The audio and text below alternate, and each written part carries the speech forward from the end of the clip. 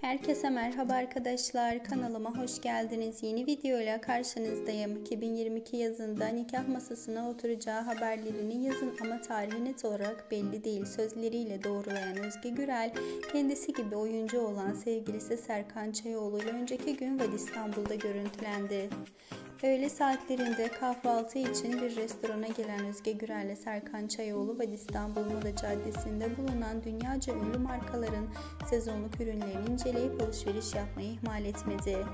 Gazetecilerin fotoğraf isteğini kırmayan oyuncu çiftten Çayoğlu biraz yürüyüş ve kahvaltı yaptık. Daha sonra alışveriş yaparak günümüzü sonlandırdık. Her şey yolunda demekle yetindi. Şimdilik benden bu kadar. Yeni haberlerle yine sizlerle olacağım. Emeğe sahibi olarak videomu beğenmeyi ve kanalıma abone olup desteklemeyi unutmayın. Hoşçakalın.